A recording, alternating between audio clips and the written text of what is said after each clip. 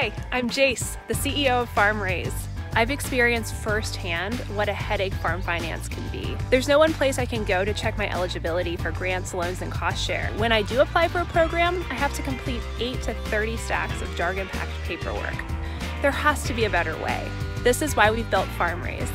FarmRaise organizes your farm's financial data into one profile that seamlessly connects you with the best financial resources out there. We've connected hundreds of farmers with funding programs to date. You could be next.